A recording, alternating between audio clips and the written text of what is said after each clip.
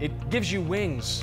It's actually interactive too, and with the help of an app, you can make this art come to life. It is so cool. Now, I just saw the picture when Brian posted it on Instagram, but Brian, I had no clue that this thing was interactive. Show us how it works.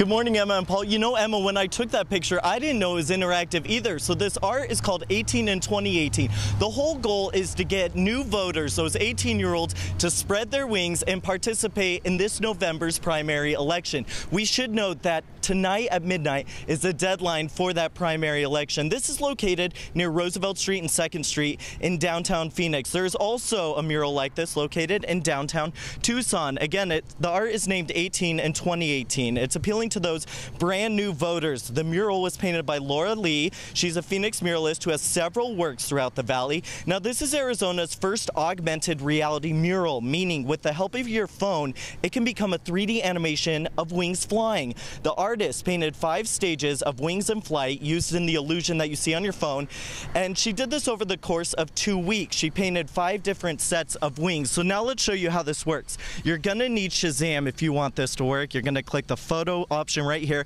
We have this QR code right next to the to the mural. See, it recognized it. And now normally you'd give your phone to your friend, but since it's just Daniel and me, we have this nice nifty little light stand. And there you go, the video starts playing, and then you just kind of stand here and the wings take flight. What's really neat is there is also a place for you to register to vote right on this app. So all you have to do is click the button in the lower left-hand corner.